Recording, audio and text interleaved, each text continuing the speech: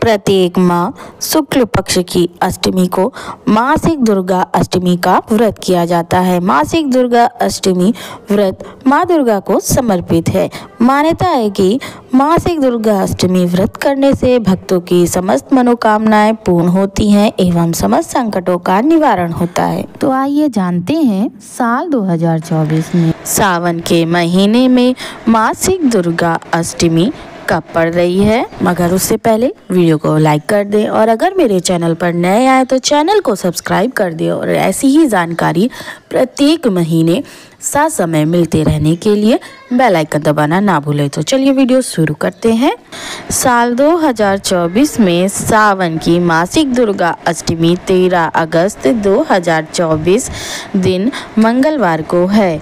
श्रावण शुक्ल अष्टमी तिथि का प्रारंभ 12 अगस्त को सुबह सात बज के पचपन मिनट पे हो रहा है और सावन शुक्ल अष्टमी तिथि की समाप्ति 13 अगस्त को सुबह नौ बज के इकतीस मिनट पर है। जय श्री कृष्ण।